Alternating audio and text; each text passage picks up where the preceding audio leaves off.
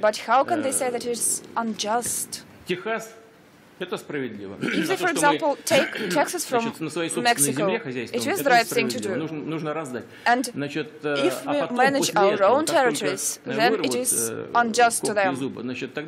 But it is ridiculous. and if they take out the bear's fangs and claws, the bear will not be able to do anything. самостоятельность, свой суверенитет и It право на существование. Вот это мы должны What все понять.